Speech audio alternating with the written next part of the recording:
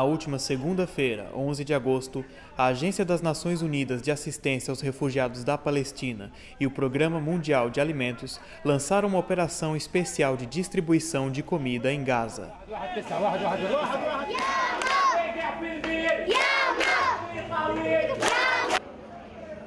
Com o objetivo de alcançar mais de 730 mil pessoas afetadas pelo conflito palestino-israelense, a parceria planeja distribuir os alimentos em parcelas de 10 quilos de arroz e 30 quilos de trigo.